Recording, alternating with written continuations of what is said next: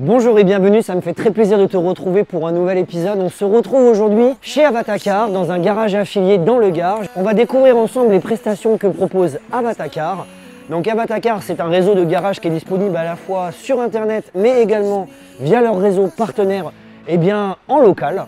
Leur objectif, leur philosophie, c'est simplement allier à la fois le côté prix, mais également de fournir des prestations de qualité à leurs clients, à la fois en local et également en visibilité sur les plateformes internet.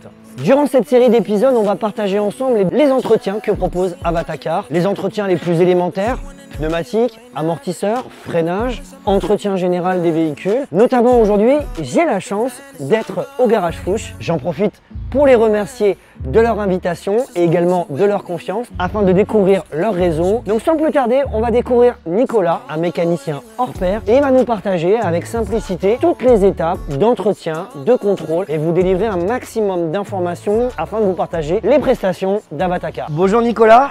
Bonjour. Merci à toi de m'accueillir aujourd'hui. Donc toi, tu es le gérant. Gérant du garage Fuche, oui, tout à fait. Nicolas également, euh, donc toi, tu as une particularité. On voit cette euh, très belle AMG qui est derrière nous. Tout à hein. fait.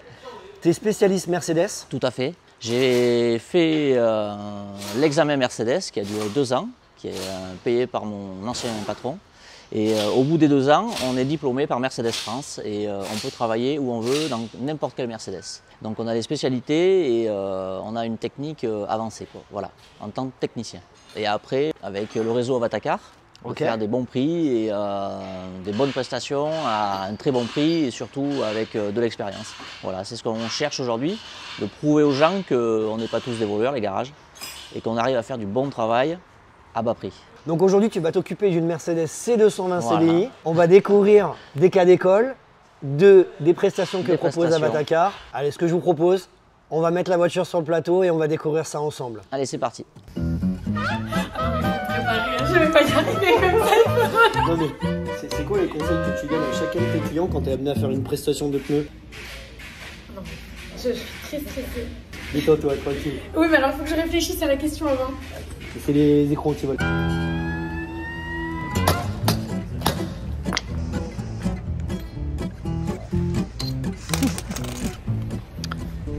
C'est bon, c'est géré. On a été voir 4 garages, dont Mercedes. Il n'y en a aucun qui a pu nous dépatouiller. Lui, il est arrivé en 30 secondes, il a torché le truc. Bim bam bam. Eh oui, Avatacar, ils savent servir les clients et puis en plus ils ont le savoir-faire. hein. Alors tout à l'heure quand je suis arrivé, je fais une petite aparté juste vite fait comme ça. Mais tout à l'heure quand je suis arrivé, ils m'ont demandé si j'avais l'écran anti-vol. On va pas revenir sur l'histoire de l'écran anti-vol. Donc du coup j'ai été chez Mercedes pour aller chercher un écran anti-vol euh, dans le gare. Je vais pas les citer mais bon tu sais où ils sont. Je te jure, mais vraiment l'accueil. Dans le mot accueil, c'est accueillir. C'est euh, tu vois, il y a du. Moi, quand j'accueille, il y, a- il y a le smile naturellement qui va venir, tu vois. Je te jure, on est arrivé dans le garage, on a des têtes de mortifère, genre. Chef, il y, a- il y a un client qui arrive, comment on fait? Là, t'a- t'arrives, franchement, regarde la banane qu'elle a, elle a le sourire, elle a le smile, c'est super. Et ça fait. Et j'ai même droit à mon petit café. Ça va, Audrey? Ça va, très bien. Alors, je vous présente Audrey. Donc, Audrey, tu es la secrétaire Garage Fuche, Oui, qui est partenaire Avatacar. Comment ça se passe, ton quotidien? Super. Moi, ce que je veux dans mon métier, c'est surtout que les clients soient satisfaits, Mhm. qu'ils ressortent avec leur véhicule réparé. Donc, euh, du coup, moi, mon plus gros fournisseur, celui avec qui je travaille le plus, c'est Avatacar. Pour plein de raisons. Je- J'ai un client qui arrive le matin, il a besoin de changer des pneus euh, en urgence avant son week-end. Je lui trouve ses pneus sur Avatacar, je commande le matin, je les ai en début d'après-midi, il est content, il les fait monter, il part en week-end. Et c'est rapide en fait, rapide, efficace, bon rapport qualité-prix, donc euh, voilà. Tu parles de rapport qualité-prix. Aujourd'hui, on est sur un marché extrêmement concurrentiel. Mm. Internet, Mm. aujourd'hui, on a des plateformes connues qu'on ne Ouais. va pas citer, Ouais. hein, mais qui euh, sont très agressives sur les tarifs. Ouais. Comment Avatacar aujourd'hui se positionne par rapport à ce marché? Je sais pas comment ils y arrivent, mais moi je trouve que leurs prix sont imbattables. J'ai regardé, hein, je bidouille, je regarde sur l'ordi, je regarde ailleurs, et leurs prix sont vraiment concurrentiels avec tout autre. et Vraiment. en, et en plus, on a des pièces d'origine. D'origine, et, et on a les- plusieurs marques possibles. Enfin, moi, sur des plaquettes, euh, le client il veut du Bosch, je lui fais monter du Bosch. Il veut un peu moins cher, j'ai du moins cher. J'ai du TRW pour certaines voitures. Voilà. En pneus, on a tout- toutes les marques. Je peux tout avoir et je peux commander la- le matin, l'avoir l'après-midi. Enfin, c'est rapide, efficace. Voilà. D'ailleurs, je vais vous parler un peu du site internet pendant cet aparté. Sachez que vous allez pouvoir bénéficier d'une remise avec le code promo. Donc il faudra aller sur le lien dans la description. Il faudra copier-coller ce lien. hein. on est bien d'accord, tu vas pas dans Google, tu tapes pas Avatacar, tu vas sur le lien dans la description, tu copies-colles et tu le mets dans ton moteur de recherche. Parce que ça va nous permettre d'identifier bah, le nombre de personnes qui aura été dessus et, et aussi bah, grâce à votre soutien de renouveler l'opération avec Avatacar. Donc c'est pour ça que c'est très important de ne pas aller dans Google. Tu verras qu'en termes de prix, on a regardé avec Audrey, bah, honnêtement, c'est hyper bien positionné. La politique d'achat du groupe Avatacar est assez fou parce que bah, ils arrivent à court-circuiter même les revendeurs de manière à permettre après eh euh, à leurs partenaires, à leurs affiliés de bénéficier euh, de tarifs privilégiés qui se répercutent en plus sur le client final. Donc c'est un point qui est quand même hyper intéressant en tant que client, donc à toi qui vas regarder cette vidéo. Si tu connais pas Avatacar, je t'encourage à y aller parce que sur ce site, tu pourras réserver tes prestats, commander tes pièces, commander des accessoires. Sache que je ne suis pas rémunéré sur les paniers que vous allez faire. C'était pas l'objectif du tout et à vrai dire, je m'en moque complètement. Donc ça, c'est pour être très clair avec toi. Dans ton panier, tu rajoutes le code promo qui apparaît à l'écran et tu pourras bénéficier d'une remise supplémentaire sur ta commande ou ta prestation faite chez Avatacar. Bon, ben moi, je te suis. Hein.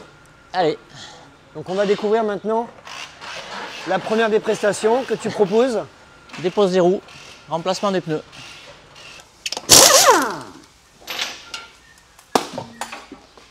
On va attaquer les disques et plaquettes. Hop. Alors, quels sont, comment tu contrôles aujourd'hui les disques et plaquettes pour voir s'ils sont usés ou pas? Alors, disques et plaquettes, déjà, il y a un témoin d'usure. D'accord. Donc là, bon, qui est débranché, qui n'est pas branché? Donc le client ne peut pas savoir si c'est usé ou pas usé. Et après, deuxièmement, ben, on contrôle directement l'usure de garniture entre la ferraille de la plaquette et le disque. Là, il nous reste 4 mm. Et après, on mesure avec un palmer le disque et la cote qui est marquée dessus.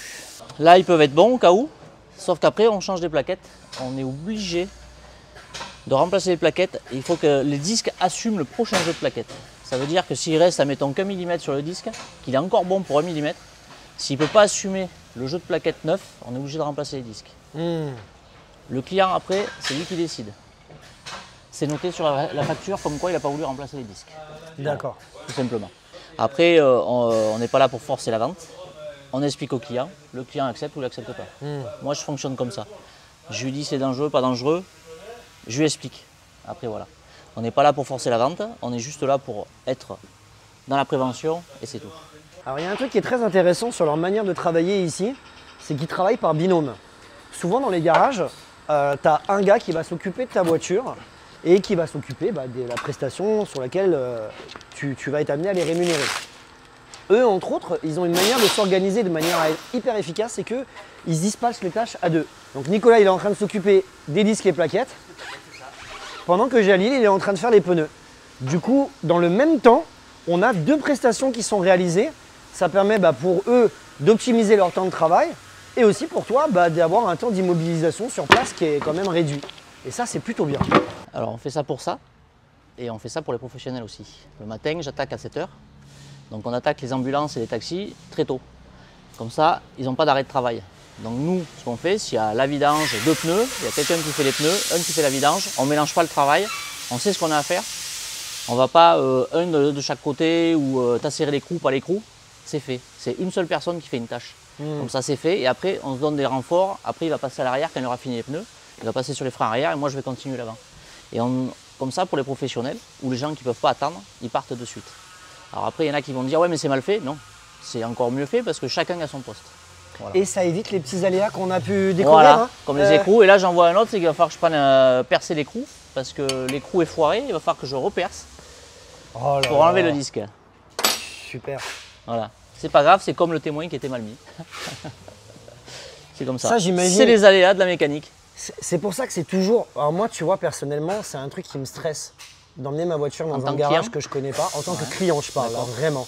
Parce que euh, je suis très vigilant les dans les garages dans lesquels je vais t'amener à aller parce que j'ai toujours cette peur de, de ça. Mais euh, pour le coup, on voit bien que ça a été pas super bien suivi parce qu'on a des écrous foirés, on n'a pas l'écrou anti-vol, on avait un truc de frein qui était abîmé, on risque de découvrir peut-être d'autres choses au fur et à mesure. J'espère pas. Après, ce qui est bien, c'est que là, c'est ouvert. Donc, la réception est ouverte. Mm. Donc, les clients voient l'atelier. Donc, ils voient le travail qu'on fait. et on laisse le garage ouvert en permanence. Avec les chaînes pour la sécurité, mais les clients peuvent faire le tour du garage et voir qu'est-ce qu'on fait sur leur véhicule. Après, quand on passe à deux sur une voiture, on double le temps. Donc il y en a beaucoup qui nous disent Ah oui, mais vous n'avez pas passé une heure. Et si, une demi-heure fois deux, ça fait une Ça heure. fait une heure. Voilà. Donc ça, il faut qu'ils le mettent dans la tête aussi. voilà. On sent le vécu. Oui, tout à Ah oui, fait. mais je vais pas payer une heure, vous avez passé qu'une demi-heure. Tout à fait. Ah oui, mais on était deux. Alors les plaquettes, voilà. Plaquettes neuves. TRW, monde d'origine Mercedes. Ok. En TRW, parce que du Mercedes, c'est pas Mercedes qui fabrique. Oui. Voilà une plaquette neuve. Et voilà une plaquette usée. Effectivement, il était vraiment temps de les changer. Voilà, tout à fait. Ils ont commencé il y a un la quart d'heure. brosse? Ouais. On a déjà un pneu qui est en phase d'équilibrage et l'intégralité du freinage d'une des ronds qui est déjà retirée. Nicolas interviendra donc euh, au fil de l'eau, mais je voulais juste faire une petite aparté quand même pour vous partager un peu. euh, vous savez que j'aime bien vous trouver toujours des petits garages. Et euh, au début, quand j'ai été contacté par Avatacar, honnêtement, j'étais un peu sceptique parce que j'ai une vision des centres auto où voilà, des fois, on a un petit peu peur de la qualité de la prestation de service qui peut être amenée à être fait, euh, de comment les voitures sont traitées, la qualité des pièces même qui peuvent être mis. Tu vois, les trucs tout bêtes, de se retrouver avec un écrou euh, qui n'est pas remonté, ou l'exemple que tu as vu au début de la vidéo, euh, où on avait justement bah, euh, les capteurs de frein qui n'étaient pas reconnectés après une révision qui avait été faite dans un centre auto. Nous, on essaye et on évite de ne pas être un centre auto. Je veux rester un garage de proximité, de village, et pas un centre auto. Malgré que je sois à côté de l'intermarché, je ne veux pas cette vocation. Je trouve que ça détériore l'image du, l'image du mécano et de l'atelier de mécanique. Et C'est pour ça que je pense que les gens après sont assez euh, dégoûtés du garage et, euh, et du centre auto. Le fait d'être affilié à Vatacar ne veut pas dire que tu es un centre Un auto, centre auto. comme n'importe quel Rien à voir. C'est surtout pour avoir un meilleur prix d'achat pour les pièces clients. Grâce à Vatacar, on peut passer en garage de proximité avec des prix de centre auto. Voilà. Ok. Tout est la différence. C'est pas la même chose. C'est pas la même chose. Ça veut dire que tu vas garder ton identité. Garage fuche sans être un centre auto. D'accord, ok. Voilà. Et surtout, il y a un truc que moi qui me. auquel euh, je regarde de suite, c'est qu'on voit que tu fais les choses euh, avec un vrai professionnalisme, un vrai sérieux. On essaye de faire au mieux. C'est pas toujours facile, on va dire, Ouais. mais on essaye de faire On, au mieux. on l'a vu au début de la vidéo. Donc là, on va mon- voilà les quatre disques qui vont être posés. Alors j'ai nettoyé le moyeu avec de la tôle et une brosse métallique pour enlever les impuretés pour éviter qu'on ait un micro-voile entre le disque et le moyeu. D'accord. Normalement, qui est obligatoire de faire à chaque fois. C'est quoi la. C'est quoi Il y a une incidence? Alors un micro-voile, c'est après on peut avoir une vibration au freinage. Ok, c'est ça qu'on appelle un Il faut qu'on ait vraiment des grosses impuretés pour créer un voile. Pour enlever les impuretés, on graisse pour que ça glisse bien. Et après, normalement, on a le minimum de, de voile sur le disque. Voilà. Un disque a toujours un micro-voile pour repousser les plaquettes. C'est obligatoire. Moi, je sers toujours la clé à choc et après, je vérifie toujours clé Le à kilométrique. dynamo. Toujours. Obligatoire. Partout, hein. pas que le freinage. hein. Ouais, Partout. Que d'accord. ce soit des, euh, des culasses, des amortisseurs, des, des volants, euh, tout. Roulement, tout est obligatoire. D'accord. En couple de cirage. Plaquettes ont un sens. Côté témoin. Côté extérieur. Donc un débord pour le témoin, pas de débord extérieur. Hmm. Voilà. Avant, mettre, changer les ressorts neufs qui sont livrés avec les plaquettes, D'accord. toujours. Vaut mieux éviter de remettre les anciens. hein. Alors, il n'y a pas de danger. C'est juste qu'on peut avoir après des petites vibrations ou des Mm. petits bruits sur les disques et plaquettes. D'accord. Parce que les plaquettes, quand on va freiner, elles vont faire comme ça, comme ça. Donc Mm. là, on joue sur les ressorts. Alors moi, il y a un truc qui me fait tout le temps flipper quand euh, je suis amené à changer les plaquettes et mes- enfin, surtout les disques. Parce qu'on dit que les premiers freinages sont hyper importants. On parle de rodage ou de pré-rodage de freinage parce qu'il y a une certaine pression à ne pas mettre de Sinon, manière à peut- pas voiler le on peut disque. faire chauffer les disques, oui. C'est ça. fait. Alors, comment je vais faire quand je vais faire, euh, je vais sortir tout à l'heure euh, Comment ça se passe? Alors moi, toujours, j'essaye les véhicules avant de les rendre. Je laisse jamais un véhicule partir de chez moi sans être essayé. 4-5 km minimum. Ça dépend de la réparation qui a été faite dessus. D'accord. Comme ça, les freins, je vais déjà les freiner. Donc je vais freiner pour euh, un peu les, euh, les faire chauffer légèrement. Et après, je préviens le client de ne pas faire de gros freinage sur 50 km. T'as plus ce phénomène, tu sais. euh, moi, je me rappelle à l'époque quand on changeait les disques, les premiers, les premiers coups de frein que tu mettais, t'avais pas de frein de Il n'y avait pas de frein du tout. Ouais. Ah ouais, ça peut arriver encore sur ça. Si on fait les quatre freins d'un coup, ça peut arriver le temps que tout se place. Mais là, on va faire une purge de frein et tout derrière, donc là, ça va être, euh, ça va être bien aussi. Euh, purge de frein tous les deux ans obligatoire. Constructeur. Ok. C'est pas moi qui le dis, c'est les constructeurs. C'est euh, pas euh, cher du tout. Une purge de frein, euh, ça coûte chez moi 46 euros avec la main d'œuvre, purge de frein complète. D'accord. Donc c'est pas excessif.